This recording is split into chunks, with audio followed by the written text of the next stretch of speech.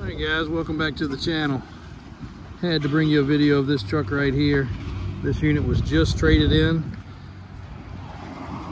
all the way across from Arizona. So no rust. This man legitimately used this as a show truck for several years, winning first place in the Arizona Tow Show.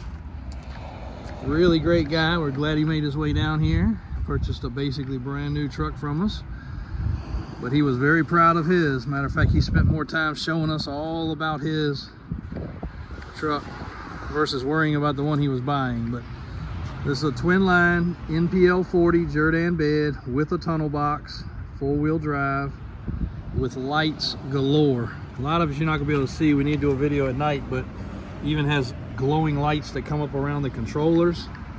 He color coded his handles to the left and right side winch control so there's no confusion. Had these custom decals made that look just like the factory ones. And he even said he figured we'd be like every other dealer when he got here. So he actually had hid a lot of equipment that he wasn't going to give us. He said but we made such a fair deal. He actually left like I mean if you figure the dolly's like eight thousand dollars worth of towing equipment. So just like anybody he wanted the best deal possible but he figured you know we're gonna be just a typical old truck dealer you know bunch of bull crap and uh, when he left he was so thrilled he actually pulled all the equipment out that he was gonna keep and uh, left it with us. So floor shift four-wheel drive XLT interior in great shape a little wrinkle to the edge of the seat but that's it 90,000 miles, so very low mileage.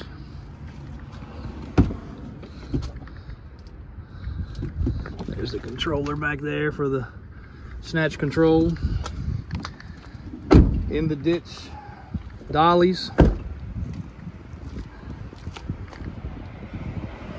XL XD series, auto grip wheel lift, strobe light bar, underglow lights, side strobe lights, rear work lights.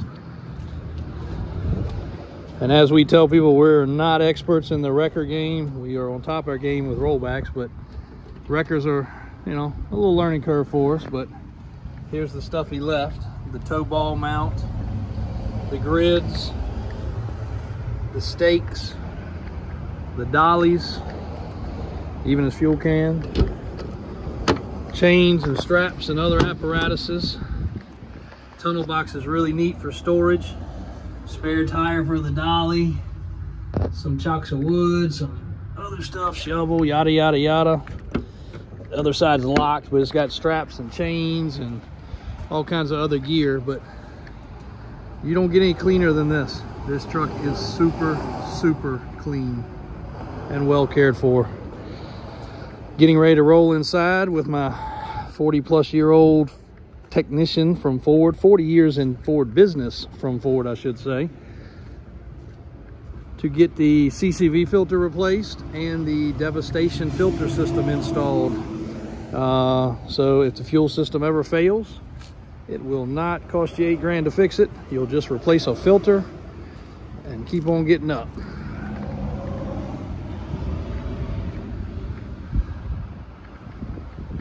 Clean truck. Hopefully this video shows, the pictures probably don't do it enough justice, but hopefully this video shows how nice it is. Just took the Arizona tag off and mailed it back to him. Obviously didn't do him any good on his new one.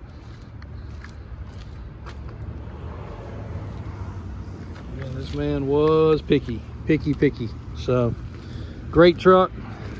NPL 40 Jerr-Dan Ford 550 4x4 6.7 diesel Hopefully these lights flashing at you didn't blind you. Walk inside here real quick. I think we got another one just like it getting serviced now. So this one will come out and this other one will go in as a rollback. Getting a service done. Yep, there we go. Another uh, twin line F550 four-wheel drive also getting cleaned up and ready to go so one of these suits your fancy, you let us know. We'll get you set up.